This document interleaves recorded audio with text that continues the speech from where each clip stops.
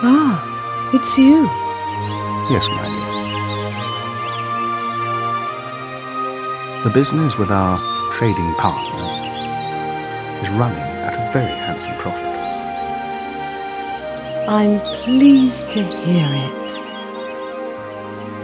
Hmm, what an absolutely beautiful evening. Perhaps we could spend the summer at our properties in France. What do you think? An excellent idea.